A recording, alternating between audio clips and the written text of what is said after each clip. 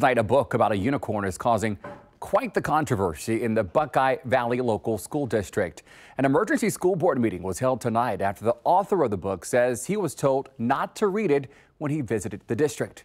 10 TV's Olivia Eugenio was at that meeting and asked the district's interim superintendent about exactly what happened.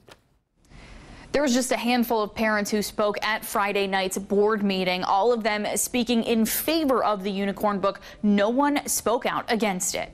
So why couldn't we read a book with a rainbow on it? Kaylin Brazelton is a mother of two and works at Buckeye Valley West. She spoke at Friday night's meeting. She says she doesn't understand why it's okay to be a unicorn. A book about acceptance for children who feel different wouldn't be allowed. I had walked up and was told we have to take the artwork down. She also doesn't understand why she says her coworkers were instructed to take down kids' artwork relating to the book.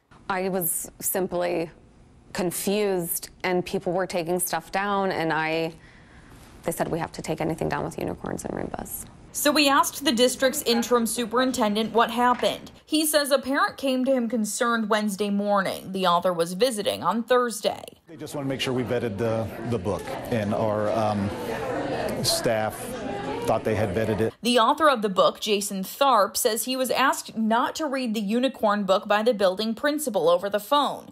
The author says he was then sent this email, which he shared with 10 TV, asking him not to read from another book. We were the first to bring this email to the interim superintendent's attention. I got that email right before um, our board meeting, so I, I got to talk to him next week. We also asked the interim superintendent about the kids' artwork. He says, as far as he's aware of, all art was displayed. Olivia Eugenio, 10 TV News.